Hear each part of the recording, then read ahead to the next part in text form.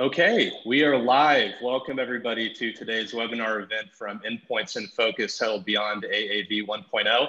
My name is Kyle Blankenship. I'm the senior editor here at Endpoints News. Uh, I'll be moderating today's panel. This is really exciting for us because um, first of all, we have four amazing guests who will be joining us for today's conversation. But also in lieu of the sponsor introduction, I want to take a moment to talk about the series that we're running here today. Today's webinar is the first in what will be a monthly series for Endpoints called In Focus um, looking at the biggest topics in biopharma. So this month, as the title indicates, is AAV delivery technology and gene therapies. We've got a great group of panelists that are going to discuss that. Next month, yours truly will be covering pre preclinical, excuse me, R&D with a webinar associated. So if you like the report that came out from editor Jason Mass on Tuesday, if you like today's discussion, please come back. Each and every month, we'll have even more stuff for you. Um, a little bit of housekeeping. We will have a Q&A session at the end of the at the end of this discussion period, reserving about 15 to 20 minutes. So if you do have a question that you want to send ahead, please go to the Q&A function at the bottom of the Zoom screen. You can ask questions for the group in general or specifically for each speaker. Um, we'll try to get to as many as we can, so put them out there. Uh, very happy to hear your feedback and the questions that you have. Okay, without any further ado, our four panelists today uh, should be a great cross-section of the discussion we're having the first is Dr. Nicole Paulk. She's an assistant professor at the University of California, San Francisco. Nicole, thanks for being here. Absolutely. Eric Kelsick, he is the CEO of Dino Therapeutics. Eric, thank you for being here. And thanks then, sure. And then finally, this should come as no confusion to me trying to keep these names together. The two Jeffs, Jeff McDonough, he's the CEO of Generation Bio, and then Jeff McKay, CEO of Avro Bio. Thank you both for being here. Pleasure. So this is a great topic, and it's one that for you know I'm parachuting in to host this panel. Our editor Jason Mass, as I previously mentioned, had a report that came out on Tuesday, effectively trying to look at what the current generation of adeno-associated viruses, AAVs, used in gene therapies. Um, this is a space that has shown a ton of innovation, a lot of development over the course of the last decade. But it's also one that was formed, I found really compelling through really one death back in 1999. That's the Jesse Gelsinger case. Um, and you know what that showed to me is looking at this from a person coming in, um, not reporting on this specifically, is how much of this field was developed in response to um, safety issues, um, using this technology really as a response to that, and how big the spotlight is on this. Nicole um, you in that reporter in the introductory session talking about the Gelsinger case in particular. Um, and I thought it'd be great to start with you to give us sort of an introduction to where we stand, what the current state of affairs is with AAV.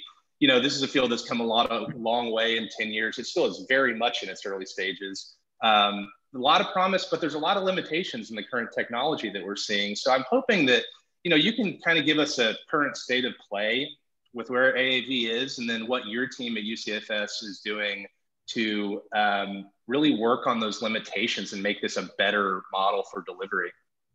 Yeah, absolutely. So, um, so if we kind of start with start with Jesse's Jesse's death, um, the field really kind of needed a, a, new virus, a new tool, and kind of new, a new safer path forward in order to deliver genetic medicines to patients. And so, um, really, kind of some of the shepherds of the field um, um, some of kind of the old guard. So, you know, Jude Samolsky, David Russell, Kathy High, others um, were really some of the only folks who stayed around.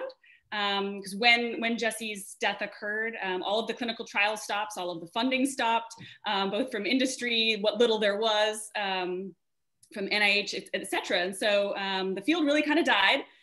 Um, and there were really these giants of the field who decided to stick with it and, and come up with solutions to how we could get past this and uh, and that kind of fast forward you know all of those small steps along along that decade to today um, we're now we're really starting to see the the fruits of those labors and these clinical successes and I remember um, when I so I, my PhD, my postdoc, and now my my academic uh, professor lab at UCSF has all been in AAV gene therapy. And I remember going back to the ASGCT meeting.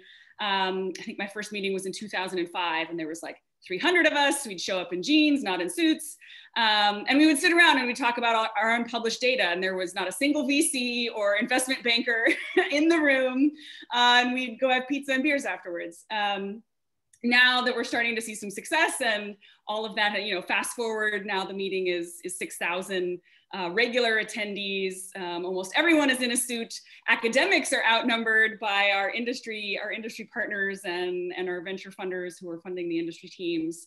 Um, and yeah, we're really starting to get these things into the clinic and, and really almost every kind of disease space, um, mostly in the monogenics, but you know, in skeletal muscle, in, in blood disorders, um, in liver disorders, I mean, you can kind of name it. Um, we're really all over the map. Um, and as far as what's holding the field back from going after even more diseases, so things like diseases that are not monogenic, but instead polygenic, so multiple mutations contributing to disease, or even complex disorders that aren't genetic. Um, most of that has to do with the age old problem that we've always had delivery, delivery, delivery. um, can we deliver virus to where we want it? Um, so in some cases, uh, you know, like right now, today, AAV doesn't really transduce the kidney. So if you wanted to go after a kidney disease, we really can't do that right now because we just don't have an AAV capsid that can do that for us yet. So we're going after the tissues and the diseases in the tissues where we have capsids that can go after that. So there's a huge need for kind of new capsids and new de delivery technologies. I'm sure Eric's going to touch on this in a minute. Um, the other huge problem in the field, as we've all heard a million times, is manufacturing.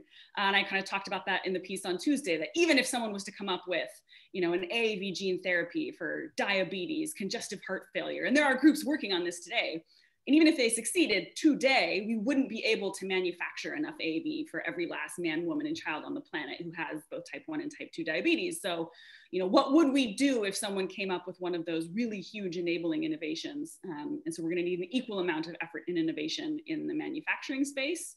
Um, and to kind of address these, these and, and more needs uh, that I won't necessarily cover for time, um, my lab has tried to be um, pretty agnostic.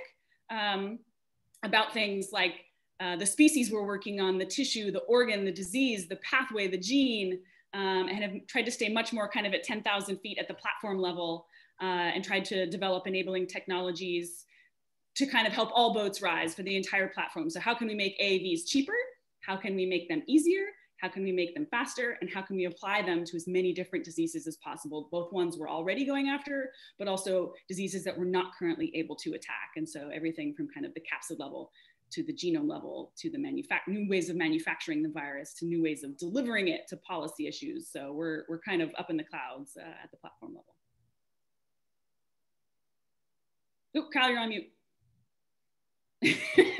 now I'm on unmute. Um, We've had our Zoom had, moment.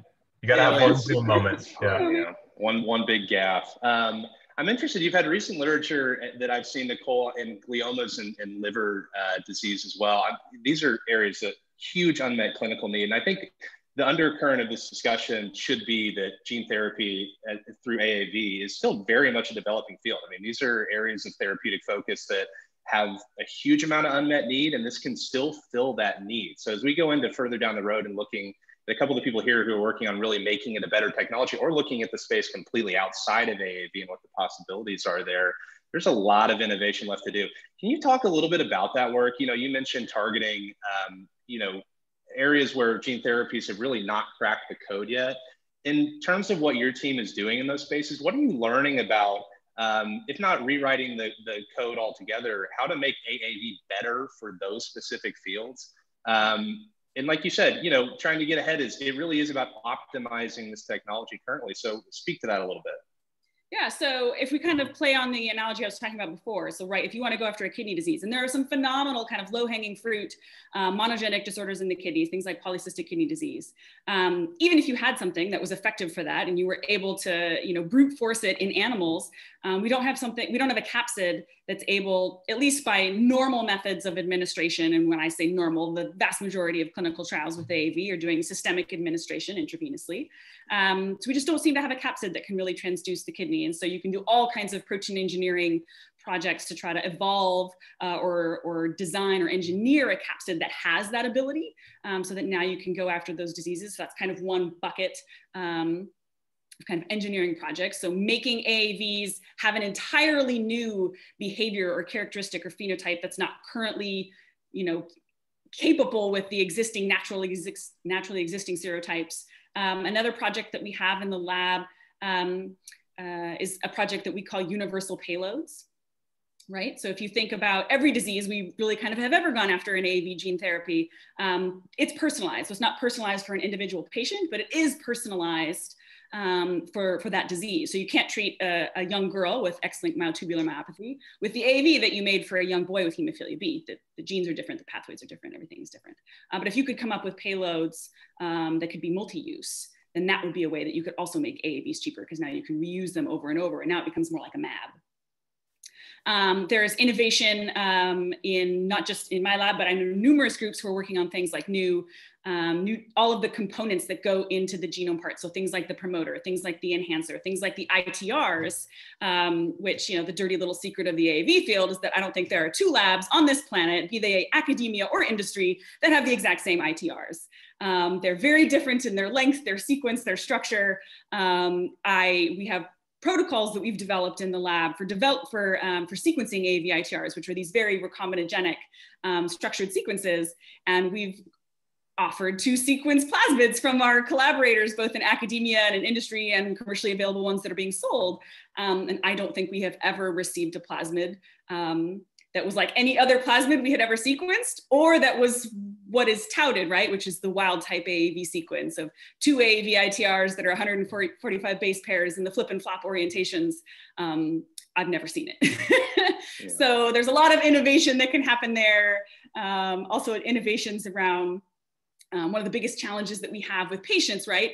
Uh, we all want to treat every single patient uh, that has the disease for the program that we're going after. But one of the problems is that we have things like pre-existing neutralizing antibodies in patients that will preclude some patients from being eligible to be able to, to receive the infusion because they'd simply sop it up with the antibodies in their bloodstream. So it wouldn't actually be able to be effective. And so there's like kind of a whole new class of, of, of researchers and efforts in that space to try to come up with new technologies to make sure that those patients could be eligible upfront to receive the, the therapy in the first place, but also potentially maybe 20 years from now, um, if the expression is starting to wane and go down, we'd love to be able to redose all of those patients so that their disease doesn't doesn't rear back. And so there's really kind of infinite and things that I can't even dream up, things that uh, you know students and trainees 10 years from now are going to dream up um, that will get us past a number of these hurdles.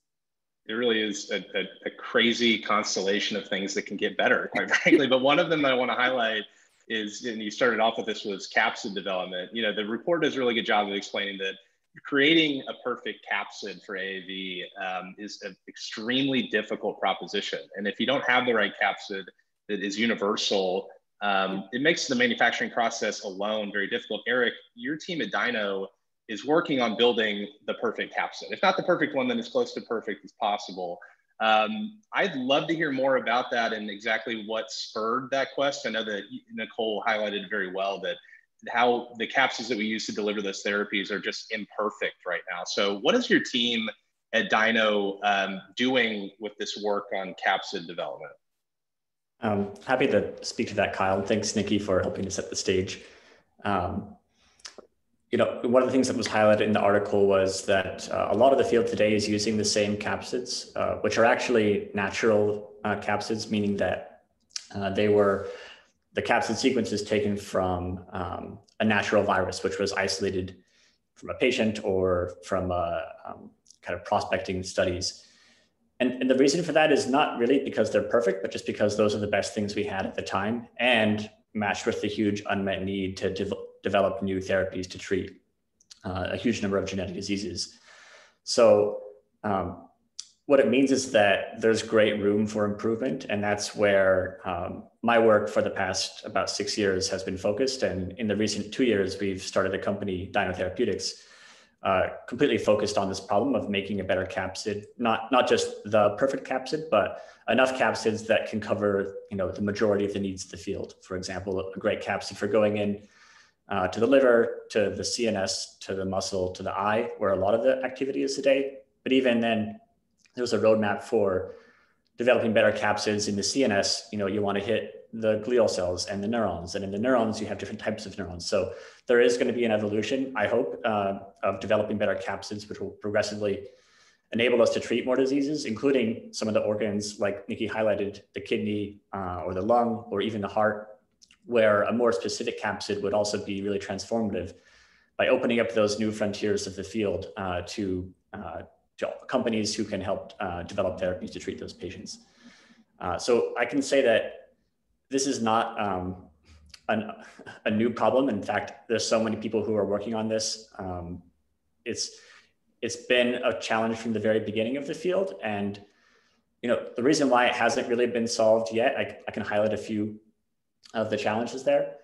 Um, one of them is just that proteins themselves are really complex machines. We don't understand a lot about how they work, meaning that we can't make a change and really predict whether it's going to improve the function or break the function. So that's a challenge which is true for any protein. But AAV in particular is a very complex protein. It's 60 different pieces that come together to form the shell, and it has to go through all sorts of rearrangements in order to accomplish its function of delivering uh, DNA into a patient's cells. So that's that's one challenge. The second is that because we you know, quickly adapted it from natural uh, variants to use for therapeutic purposes, uh, we, we didn't have enough time to really understand how it interacts with the body. So in terms of the AV basic biology plus how AV interacts with cells and receptors on human cells, those are a lot of the challenges which have made it difficult to rationally engineer uh, the capsid to make it better. So people have fallen back to the next best thing, which is um, a more empirical approach called directed evolution, Typically, that means randomly mutating the sequence and looking for that needle in a haystack, that rare variant which has some improved function. And so that's, that's been an effort which is ongoing for more than 15 years now, but it hasn't yielded a lot of successes um, for, for two reasons. One is that those improved variants, those needles in a haystack, they're, they're quite rare.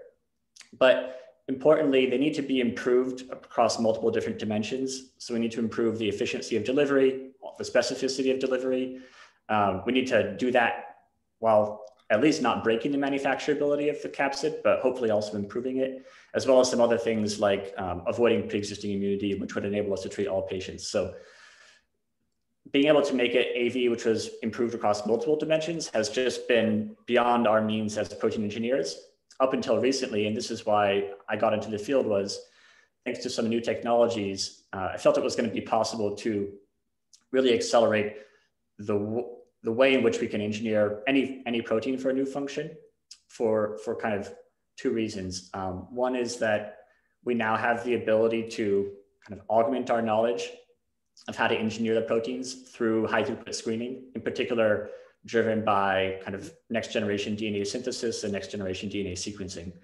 So what that enables us to do is to, rather than having to understand how to improve the function, we can just make a very large number of different changes, even systematically search that space, and then do an experiment.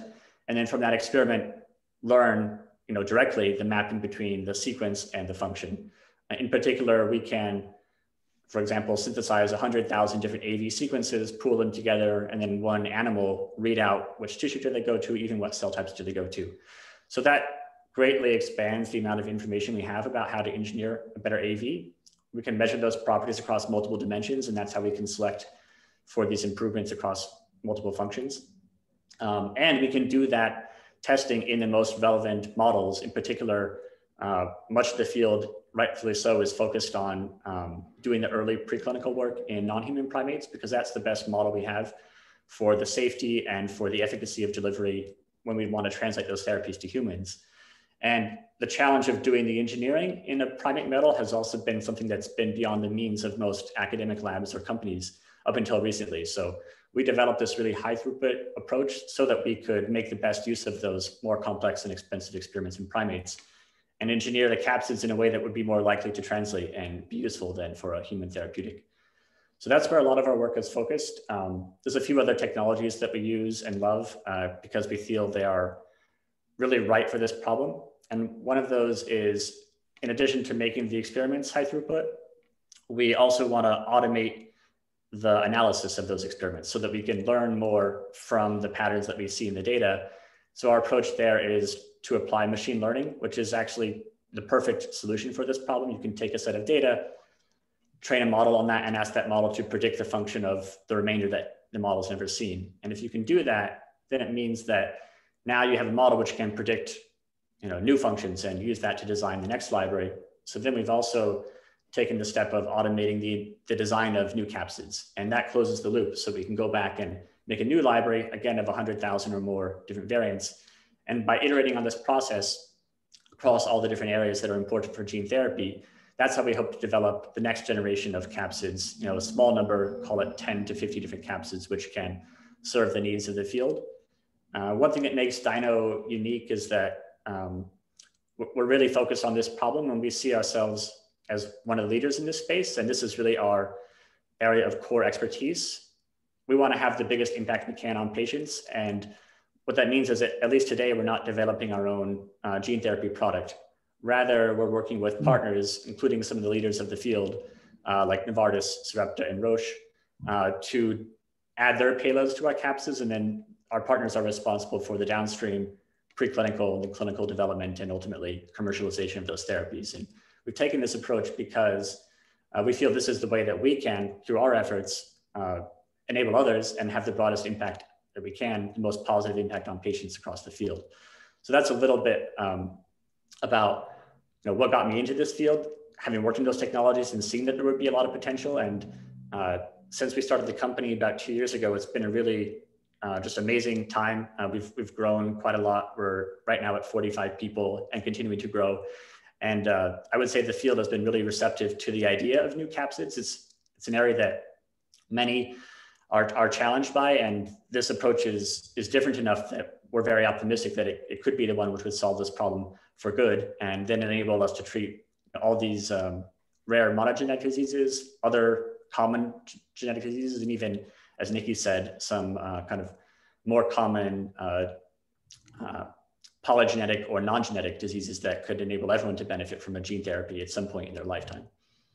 Yeah, I think the target perspective on that is really interesting. The possibilities there. I would I would be remiss though to not ask you about the manufacturing aspect of this as well. You know, as Nicole said, um, manufacturing these therapies at scale are a huge issue. The FDA has had uh, a say in particular on a, a couple of late stage projects getting across the finish lines, specifically tied to their manufacturing.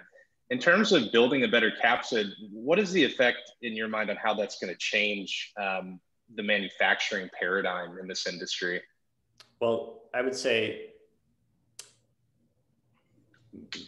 what many of our partners are interested in, and if you ask anyone who's doing gene therapy, you know, what's top of mind, the manufacturing is important, but what really is key is improving the efficiency of delivery. And it's fortunate that if you can solve that problem, for example, if you can make an AV which is 10 times or even 100 times more effective than the starting point, that also makes it easier to manufacture enough doses to treat all the patients who would benefit from that therapy. So you can either, for example, treat new diseases because now you're able to deliver to enough cells to make a difference in terms of patient quality of life. Or you can dose with a 10 times or 100 times lower dose, and therefore you can make the therapy safer uh, and also make it easier to manufacture enough to treat all the patients who would need to benefit. So I see that as being really like the first area, both in terms of expanding the frontiers of the field and in terms of removing that bottleneck through manufacturing that we'll see improvement. Additionally, um, because we're the question was about the safety, and that's how we started this um, this this call. Uh, another area that the natural AVs are not so good at because there was never a reason from an evolutionary perspective to target one tissue or one cell type specifically is that they're quite broad. Uh, for example, most AV gene therapies, even if you're targeting, say, the CNS uh, or the muscle, a, a, very large number of those are going to the liver or being filtered out through the circulation when they're delivered uh, systemically. And so through engineering, we can also detarget the AVs from those other organs where, you know, going there is not as important for the effectiveness of the therapy. And that uh, can also make them more effective and, and certainly better tolerated uh, so that we're able to avoid some of the safety concerns or risks associated with the therapies using the natural capsids. Yeah, I think that's really compelling. And again, like both Eric and Nicole have highlighted here, a lot of room for innovation and improvement on how AAVs are delivered. To get to sort of the beyond AAV 1.0 part of this discussion, um, both Jeff McKay and Jeff McDonough are working outside of AAV altogether. And, you know, we had a call before this one to sort of talk about this, and everyone, I think, made mention that AAV is not going anywhere. There's a field still very much in its infancy if you consider the last decade. But there are also approaches really at the cutting edge of how we do these gene therapies that do not rely on AAV. Um, and I, Jeff McKay, I'd love to start with you. Your team is working on a lentiviral approach um, that does away with AAVs altogether. um, looking, you know, potentially to solve all of these issues we just talked about in terms of potency and safety and even manufacturing down the road. Tell us about um, your team's work and how you think lentiviral gene therapy can potentially solve the issues of AAV, which are is obviously an imperfect delivery technology. Yeah, thanks, Kyle. So uh, AvroBio, um, as you mentioned, applies lentiviral gene therapy to multiple lysosomal storage disorders. And uh, we're targeting six different lysosomal disorders uh, Fabry, Gaucher, Pompe, cystinosis, Hunter, Gaucher disease type 3. And, um, and, and as you said, I think each, each approach has its pros and cons, but I think the, the benefit of Lenti as an integrating vector is, uh, you know, if you think of one word, you think of durability. Um, so that, that's one differentiator. But of, of course, it doesn't have, you know, it has its own profile, but it doesn't have the emerging challenges of liver toxicity or immunogenicity. And so, you know, I, I, guess when when we look at this field, we we certainly, you know, and the reason that we're having a panel here here is because AAV is clearly AAV generation one is clearly facing emerging limitations, and and you know, I, I think it's been said clearly, but just to repeat a little bit that this emerging pattern of liver toxicity, immunogenicity, you know, we were all sort of jarred and shocked at the tragic deaths of the Adentes patients, but it's more than that. It's an emerging pattern of three, four, five companies. Jim Wilson's, of course, large primate data corroborates it. Um, and there's durability issues. And, and so it, it's unclear whether the first gen can overcome that. Of course, there's all kinds of mitigating approaches, and, and we're all hopeful. But then a second topic gets introduced is if you do address those safety and durability issues, the next question is for which patient segments would it be suitable? And there are certainly sizable um, patient segments where, where it, it, it at least has limitations. And as, as always, as has already been referenced, you know, X percent of patients have pre-existing neutralizing antibodies. And depending on which publication you reference, which geography you, you measure, which serotype, it could be 20%, it could be 60%, but it's, it's X percent it's bigger than a bread box. You know, it, it's a sizable percentage of patients. And then the second limitation, which we all understand, is pediatrics adolescents, because of course, for a non-integrating vector, as the liver grows, there's concern about washout. And, and the third, which particularly bridges to Lenti, is uh, if, if you open up the big book of medicine and target a disease where what you require is both an above and a below the neck manifestation, you know, a liver-directed AAV is certainly challenged to, to be able to address that. AAV has been shown in CNS and it's been shown in the periphery, but it, it really, there, there's not a viable approach to, to deliver both. And, and so, you know, that, that's part of the challenge, but the second half of the challenge, though, what I mentioned to date is what's intrinsically difficult about the first gen AAV approach. But apart from the intrinsic issues is how we as industry have applied it. And I think that, you know, we've applied it to diseases that are perhaps not the ideal fit. And in drug development in general, of course, you're not supposed to start with the technology, you're supposed to start with a target product profile. And if you set yourself and your patients up for success, what you want to do is match the vector to the disease and specifically to the target product profile, what you're trying to do to the disease. And you know, I, I would assert that AAV vectors are inherently well suited for delivery to non-dividing cells in highly targeted compartmentalized organs such as the brain and the eye. And of course, we all know about Luxturna and Zolgensma, um, where washout's not an issue. Um, the, the cells, the retina and the motor neurons don't divide, and you can get away with a relatively small dose.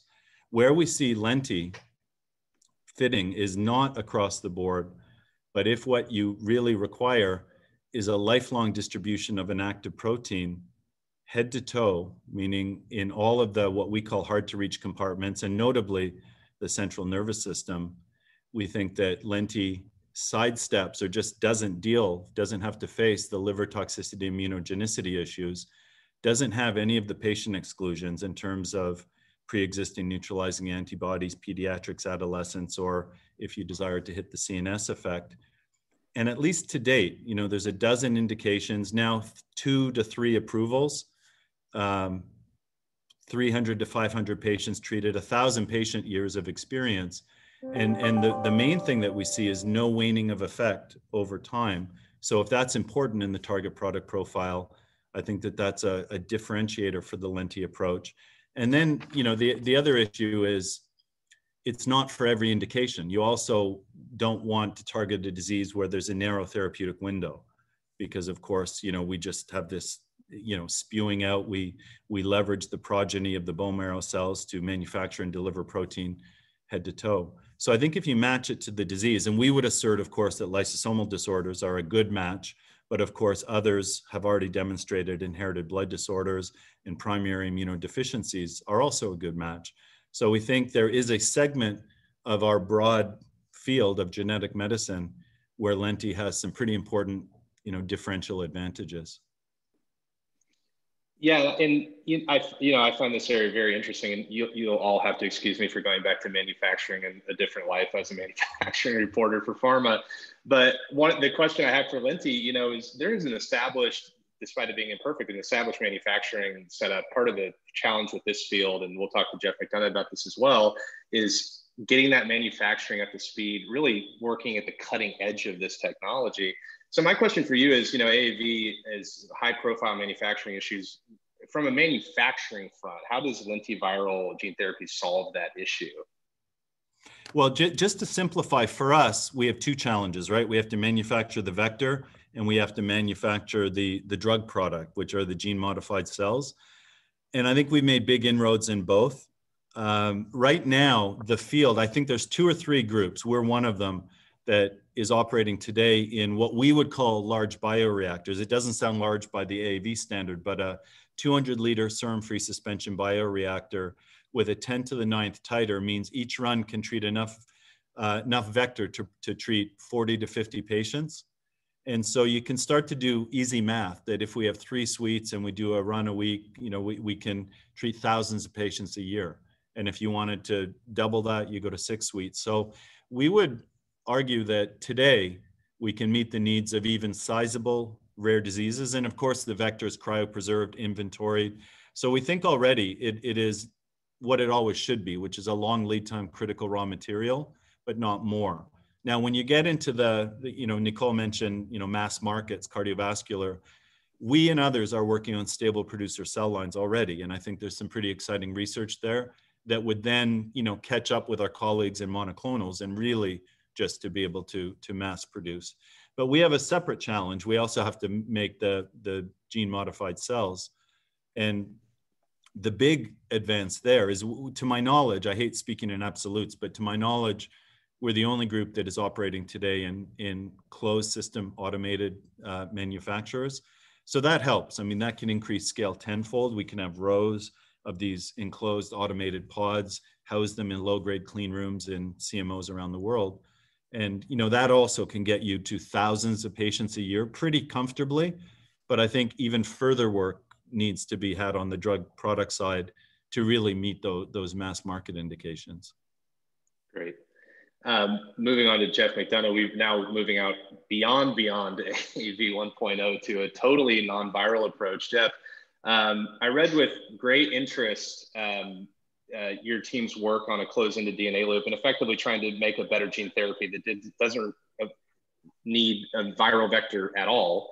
Um, that would be a huge development in a lot of different ways. But I'm, I'm I'll turn it over to you because I find this very fascinating. Talk about your team's work here, um, and then potentially the transformative effects of getting something like this uh, to function in much the same way as an AAV or lentiviral approach without needing that vector. Yeah, thanks, Kyle. And I mean, what an awesome setup. Uh, each of you guys have just laid a, a, beautiful landscape where so much is to be done and where so much of that work will lead to terrific benefit and expanded benefit. And know, that idea of, of building on the benefits of, of AAV and Lenti and working to expand and extend those to broader populations and to new uh, indications and also to reach for a slightly different clinical profile has really been the goal of non-viral gene therapy for 40 years. I mean, those same uh, gatherings of scientists wearing jeans in the basement were also talking about non-viral gene therapy 40 years ago, 30 years ago, 20 years ago. Um, so that the idea of, of what non-viral gene therapy could offer has been around for quite some time. And, and simply it's to build on what is really wonderful about viral gene therapy in general, which is the ability to introduce therapeutic transgenes, sometimes smaller versions, but often in their entirety, to the nuclei of target cells. That's an incredibly broad uh, therapeutic platform to build on, uh, whether it's in mitotic or, or non-mitotic cells. Um, and so, you know, what, what we're trying to do is build on that therapeutic potential, but remove the limitations, which are fundamentally driven by, as you said, Eric, natural capsids, which exclude many patients at the outset and prevent redosing. And if you just step back from it from a clinical perspective, um, almost all drugs, all therapeutic categories allow redosing and allow for adjustment of dosing or dose frequency to get the right outcome for each patient, individualizing therapy to the goals of a given patient is a very natural and, and embedded sort of uh, principle in clinical medicine. And of course, the, the viral approach, at least for, for 1.0, doesn't quite allow for that uh, repeat dosing to occur. So getting the same kind of years long durability in the nucleus and combining that with redosing has always a little bit been the dream of non-viral gene therapy.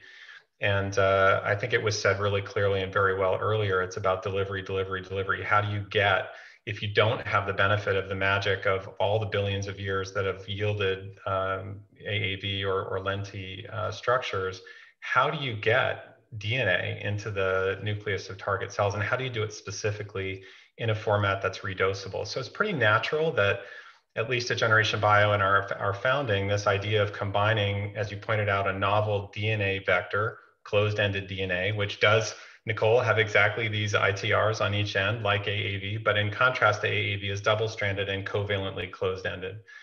What's special about that structure for Sedna is that it does yield the same durability in the nucleus as AAV, but unlike AAV, without capsid, if you can get Sedna to the cytoplasm, it makes its way into the nucleus. So, so that's a, a, critical differentiating feature of the construct, which lets you access a second technology, which is lipid nanoparticle delivery. Lipid nanoparticles, by their nature, don't exclude patients up front because patients don't have naturally occurring antibodies to LNPs, and they allow essentially unlimited repeat dosing, or at least in the context of the approved drugs that are using LNPs, uh, allow for chronic dosing every several weeks for years. So that concept of redosing and long-term expression in the nucleus was the kind of peanut butter and chocolate, if you will, that, that got Generation Bio started. As it turns out, um, some of those same on-target, off-target ratio issues that are there for AAV exist for standard LNPs as it relates to delivering DNA. In other words, standard LNPs deliver 50% of their cargo to immune cells and 50% to hepatocytes. If we just talk about the liver as a target to begin with. So much of our work over the last three years, to answer your question, Kyle, has been on inventing a novel biologically cell targeted delivery system, again, beginning with the liver, but we have in mind to reach other tissues, using uh, GalNAc to target the ASGPR uh, on hepatocytes. And so, in contrast to this 50 50, we are now delivering 97% of all copies to hepatocytes with each dose. So, very different shift in the biodistribution of, of standard uh, lipid nanoparticles. So that unlocks this kind of combination of years long durability and redosability. And what that gives you in terms of reach are, you know, really three uh, or four dimensions. One is because you're not stuck inside a fixed dimension of the capsid, you can build larger payloads. So up to 15 kilobases, which includes most of the cDNAs that we know are therapeutically interesting. Um, because you can redose at the outset of therapy to stack to the right level of expression for each patient, it becomes more individualized and it unlocks the ability to dose in childhood. As Jeff McKay was saying, if you can't redose early in childhood, you can't keep up with the growth of the liver. Um, and lastly, but importantly, I mean, Nicole, you said it right at the beginning. How do you get to every patient on earth with a given indication, let alone if it's prevalent? Um, when you move away from some of the manufacturing constraints of, of capsid, you have a capsid-free manufacturing process, then millions of doses really come into, into reach. So then you can start to build on the successes of AAV, but try to extend that reach uh, to larger populations. And by the way, I don't think our biologics capacity is sufficient to treat every man, woman, and child on Earth with a, with a large indication. So moving that manufacturing from steel vats into patients' own livers, you know, becomes a really interesting long-term extension of this kind of an approach. So, so that's a big nutshell, but in a nutshell, that's that's what we're up to. Yeah, you know, one of the questions we had, Jeff, moving into this was uh, that exact thing you talked about, a therapeutic reach and how you use this lipid nanoparticle in a targeted way. You know, there's a compelling line in the report saying AAVs are, are built like a bullet, that they're really, really targeted for specific tissues. Uh, one of the exciting things about what you're doing is it has the same response as an AAV delivered gene therapy, but it doesn't need the vector. In terms of, you talked about this briefly, but in terms of how you're thinking about expanding that out or how to really target down on specific tissues, can you drill down for us what your team is doing in terms of working on tissue specific targeting? Um, I, I don't know if how you view it as being, we can do it as well as an AAV down the road, but um, talk about that problem. Yeah, I mean, if we start with the liver, just briefly, that 97% specificity to the hepatocyte compartment is, is very different from what's possible with, with, with current natural generation or first generation, if you will, uh, capsid um, delivery. Uh, and it, it comes along with that opportunity to move from targeted rare and metabolic indications in the liver like PKU or uh, using the liver for rare diseases like heme, two of our lead programs, um, and of course, there's lots of depth in similar monogenic uh, conditions in the liver, but it also allows you to build within the liver to address very large prevalent indications. So for example, the ability to generate therapeutic antibodies from the patient's own liver, perhaps with one dose or two doses every five years, to gain a protective level of antibodies against something like hepatitis B or HIV or COVID knowing that patients are producing their own antibodies, it gets past some of those capacity limitations for very large uh, indications. Now, having said that, um, if you take off the GalNAc targeting ligand, it opens the opportunity to put back on a ligand that's specific, for example, for tumors or for skeletal muscle or for other hard to reach tissues. Uh, Nicole, you caught my eye. Uh, we've been thinking about the kidney uh, a lot too in the longer term because it is, it's untouchable today and, and there's so many great things to do there. Now, the, the specific ligands that have the kind of characteristics as um, GalNAc does for the ASGPR are not thick on the ground. There are many validated uh, such molecules for skeletal muscle. There are many such molecules for uh, tumors. There are not so many for kidney. There are not so many for the central nervous system. So we're doing a balanced approach, taking advantage of places where others have identified those kinds of ligands, but also developing the ability to discover and develop those ourselves uh, as well over the longer term. Great. Guys, this has been a fantastic discussion. We are absolutely swamped in questions for Q&A. I've been seeing them fly by. It's great. They're coming yeah. in. People love this topic. So we, uh, we're going to turn over to that really quickly with the last 18 minutes we have. I think we've got some really, really great stuff to talk about. Let me start with the general one and we'll turn it over. And I think this question really gets to the heart of what we've been talking about here. Um, this is to the entire group. Feel free to jump in. Could the panel comment on potency, question mark, the amount of the virus required for a dose on a per cell, quote unquote, basis suggests AAV is a very poor virus based on infectivity. What are we doing to improve potency? Uh, I can probably take a stab at that. So, um, so there are definitely differences uh, with AAV potency depending on a number of factors, what capsid you're using, what tissue you're going after, what method of administration you're using, and even how you manufacture it. Um, so we've got a, a, recent paper that came out in September that showed that um, there are huge potency differences, even if you make the exact same virus, same capsid, same payload, same everything, um, but you manufacture it in the human HEC293 platform versus the Baculus F9 platform, where we can see orders of magnitude difference in the potency uh, between these two platforms, where the human produced vector is much more potent than the insect produced vector. So there are huge differences. There are a number of factors that kind of play into this um, that you can dial up or dial down and change as far as ways that people are trying to improve potency beyond that, I think um, there are groups who are working on um, new methods of administration. Um, so right now, uh, the two tissues that everyone is most jealous of and want to work in are the brain and the eye because you can do these really, really low doses uh, where you don't need to have really high levels of potency or high levels of transduction or, or high doses in order to achieve truly therapeutic levels of expression. But can we get other organs to, to have that huge advantage that the brain and the eye have um, through, through new methods of administration that aren't just brute force systemic um, infusion in, into the vasculature. Um, so I think that is a kind of a new area that people are playing in and also just engineering the capsids themselves. Eric can, can certainly talk about this in more detail, engineering the, the actual capsids to be more potent um, so that you could administer a few of them. um, and, and also all of those genomic components that, that get packaged into that payload. Can any of those be stronger or more tightly controlled or regulated in some way? Um, those are all kind of initial uh, initial technologies that people are working on in order to make these more potent beyond just improvements in their own um, kind of process development pathway. I guess maybe I could add a few things um, to what Nikki so so thoughtfully covered. Um, I, I, you know, the potency is is really the same thing as the efficiency, so it is a, a major focus for our work and a major need.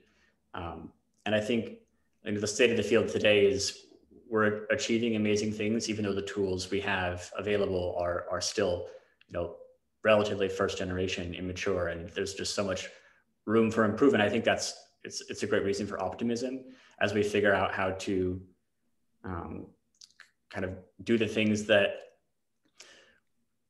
we need. Uh, we can learn from the examples of other fields, or you know, for example, one report that I've always found really interesting from um, Michael Linden's lab was about the differences between natural AVs, you know, which are in their natural form, which is slightly different from how they're used in gene therapy, which is recombinant AV, and looking at the per particle infectivity of those and seeing a pretty big difference, like at least tenfold or more.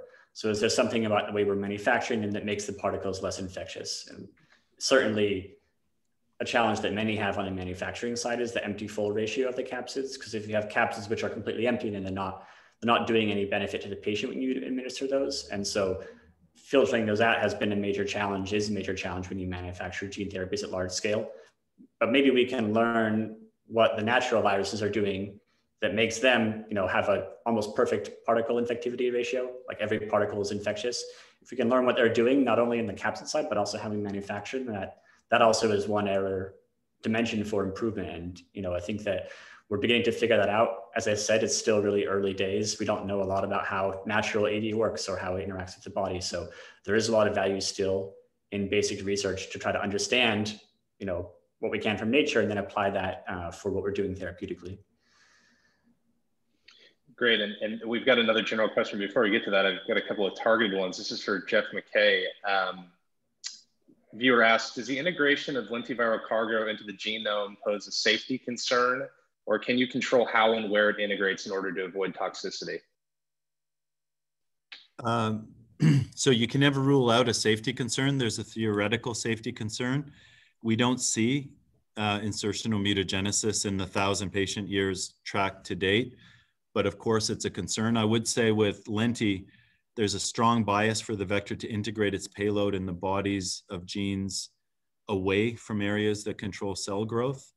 Um, and so, you know, that's perhaps part of the reason why we're not seeing it. I would remind people, and this is more of a general comment, is that Lenti is deactivated HIV and uh, we have seven, 70 million patients in the world to look at and ask, are we seeing insertional mutagenesis? And the answer is no. So I, you know, I, I don't think we can rule out it as a theoretical. I'd also highlight, you know, one of the big news stories of the year on the AAV side was the Sabatino uh, study in AAV looking at 1,700 unique integration sites and expanded cell clones, and half of which uh, were near genes that regulate cell growth. So that actually, you know, if anything, creates a bigger question on the AAV, AAV side of the ledger. But, you know, I think we can say so far so good. Uh, the results are not showing that with Lenti, but of course, it, it's an area that we continue to track. Great, and, and Jeff McDonough, direct question for you as well. Um, short and sweet, what does the animal data show with nucleic acids in, in LNP? Um, maybe I'll answer the question a couple different ways. You know, nucleic acids in LNPs form the basis for many therapeutic categories. sRNA, siRNA, mRNA all have utilized uh, LNPs for delivery.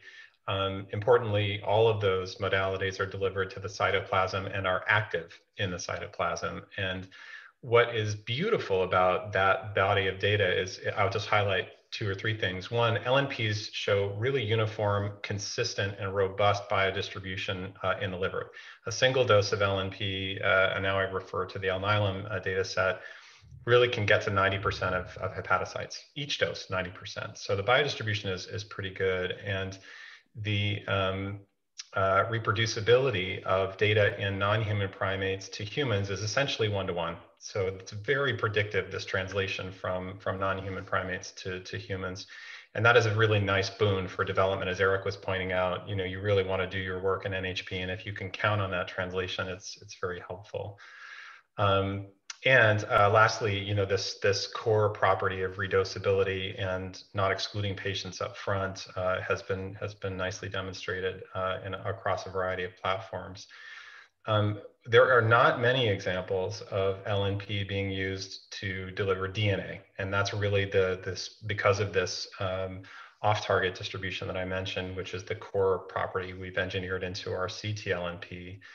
Now, when we use our uh, SEDNA with CTLNP uh, in mice, we're able to see these properties uh, demonstrated, for example, uh, the ability to create high and durable levels of expression for factor 8 and factor 9, and also in the case of factor 9 to show redosing with a stacking and increase of, of expression in a dose proportionate way. Um, now, we are just setting down the data set to show this translation of the combination of closed-ended DNA constructs with CTLNPs in non-human primates for factor 8 we showed that uh, translational ratio is somewhere between one to one and three to one uh, in our first uh, NHP experiments there. Um, so the next step will be to bring our therapeutic constructs for hemophilia A into non-human primates and demonstrate that same combination of, of SEDNA and CTLNP. So that's maybe some bookends for the, the experience so far with LNPs and nucleic acid. Of course, the delivery of nucleic acid with LNPs is the heart of the story for COVID vaccines. It's just a very different application of, of the technology. Yeah. Great. Um, touching here on AAV immunity, this is open to the panel. How do you weigh the promise of capsid engineering compared to more clinically advanced solutions? Here's me as a non-scientist trying to say this, plasmapheresis, IDS, treatment, immunosuppression, et cetera.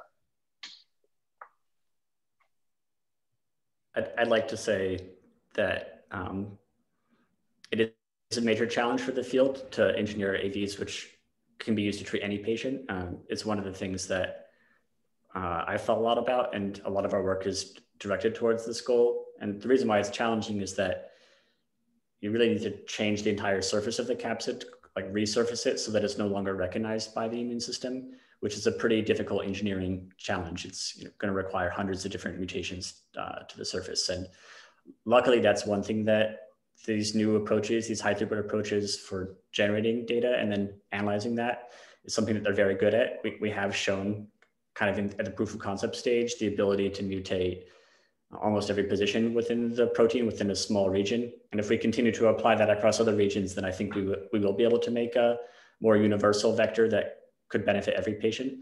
But that's still a lot of work needs to go into that. Um, there was in the comment the mention of some of these other approaches like plasmapheresis or um, the IDS uh, treatments, I, I, think those are all wonderful. And like, there's no reason why you couldn't combine new capsids with additional ways of modulating uh, or directing the immune system that could, in combination, enable you know, more patients to benefit from the therapies or even enable things like the redose, uh, which would be you know, fantastic to add into the AV field. Great. And uh, for this next one, Nicole, you got a direct shout out. Um, not to name names, a, a, participant in a recent trial for hemophilia B developed hepatocellular carcinoma. Um, if it's discovered that AAV has contributed to this through in, inter, intertional, I don't know if that's a misspell, mutagenesis, what impact will this have on the AAV, AAV rather based gene therapy field? Nicole, since you got the shout out, I figured you could start with that. Yeah, absolutely. So um, the jury is still out on this. Um, there's still an investigation going into kind of what's going on there. Um, I don't know when it will be public and when we'll be able to hear about it. Um, but certainly this, this concept, this debate is not new in the AAV field. There's, um, I, I have commented recently on this that, um, you know, this is, this is an area that can get you into a bar fight uh, at ASGCT. Uh, there are really, there are two camps. There's the camp that says that AAV can um, insert uh, into the genome. This is largely always in, in, in liver, um, liver-directed gene therapies, uh, that it can integrate into the liver and that this can cause tumors. Uh, depending on where it integrates. And then there's also an equally large contingent of folks who say that it does not do that at all. Um, I won't necessarily weigh which group I fall into, um, but if you know hypothetically it, it was to we were to definitively show and everybody agreed um, that this still caught, that this was definitive, this was causative, this caused this insertional mutagenesis that led to this tumor. I still don't think that would be the end of AAV gene therapy for liver diseases. I think we would just you know, we would act like we're scientists and we would engineer solutions around this problem um, to try to stop uh, the, the integration um, in these particular sites and or um, be more selective about which types of diseases we would go after um, and at what doses we would, we would be using these things. So I think even if it were to come back uh, that this was an absolutely definitively AAV induced um, tumor, I still don't think that would end AAV gene therapy in the liver by a long shot. Great, and let's go uh, beyond AAV 1.0 times three. The question here is looking at something that's outside the range of what we've all of us have talked about here, and that's testing new types of viruses for delivery. Um, what's the current status of other viruses being tested in this space? Um, I'll leave it open to the panel. Um, anything that's outside of the range of what we've currently discussed, Nicole, you may be good to start on that oh gosh, there's more viruses than I can count. There are more academic labs and small startups and even large companies who are going after things beyond the, the three classics, right? Which is adenovirus, AAV, and lenti. Um, so truly um, hundreds, possibly even thousands of viruses in consideration. So many, many, many. yeah and and non-viral stuff. So, and they, I think they'll all have not all thousand, but uh, right, like these will all have a place. Like there's going to be indications where AAV is best. There's going to be indications where adeno is best. There's going to be indications where lenti is best. There's going to be indications where non-viral things are best. Um, so there's enough sand in the sandbox for everybody to play with. There's depending on who you talk to, 8,000 or more um, rare monogenic diseases, and that's just in the monogenic space. So there's enough diseases for all of us to go after. Um, Great. And let me let me maybe highlight something here from a from a reader who asked about integration for AAV. Um, I'll read it directly. Isn't it a little unfair to single out AAV with respect to unintended integration? Isn't the truth that the introduction of DNA into a cell slash nucleus will always run a risk of unintended integration, whether via AAV, lenti, or LNP? Who wants to take that one? Yeah, I. So when you say is there a risk, uh, of course, I, I, think perhaps the question. I mean, this has been a year because of the publication that I referenced briefly, the Sabatino publication, which is a long-term Penn study looking at dogs, um, looking at the 1,700 unique integrations and expanded cell clones. I think it's raised the question, you know, because we used to live in this simple world where AAV didn't integrate and Lenti did, and there were pros and cons of each. Where I think the world's getting a little bit more complicated now, and that's forcing us to ask safety-related questions that we we weren't perhaps appropriately asking until recently. But I think the science is unfolding, and I, I don't know how anybody could make strong conclusions right now. I think we're still trying to sort things out.